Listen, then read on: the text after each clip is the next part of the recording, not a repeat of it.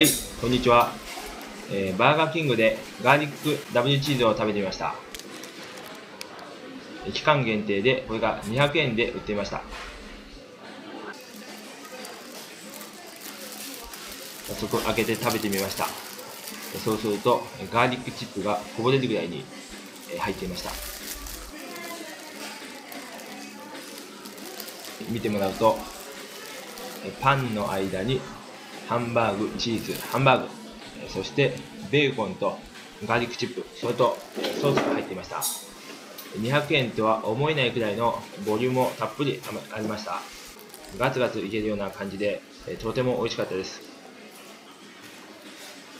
食べかけをするのはどうかと思ったんですが、えーどんな感じか中が見てもらいたかったので映しました。